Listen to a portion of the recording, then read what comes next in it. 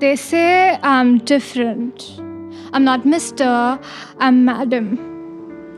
How different am I really?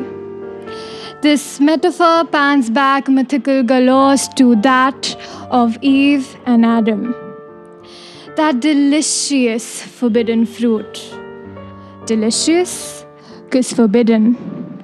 That sinful bite, that sinful taste to truth would lead to imprisonment in her own garden.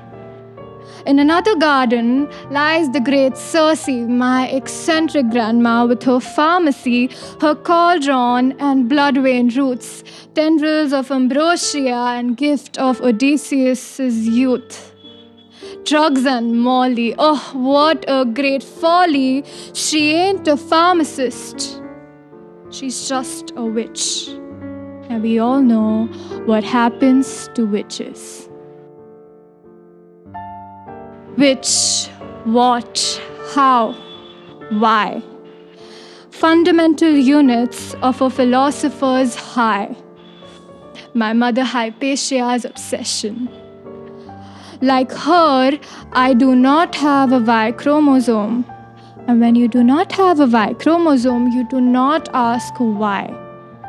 You just nod my big sister Lovelace, Byron's alchemical daughter, her poetry woven as math, her rhythm danced as algorithm, her tutor Morgan, oh, that esteemed Morgan, did not think that her mind and physical application could carry the burden in the meek meadow of a woman's body these men of science around me break through a dichotomy of superstition and reason.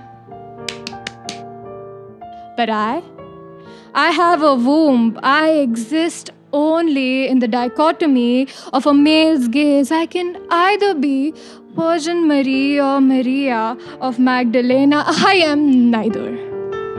I am Marie Sklodowska Curie, one third of the Furies. I have one lab coat dark that I wear to my laboratory, one shot to a seat in the room of scientific history. I make a mark twice, but only as my husband's wife.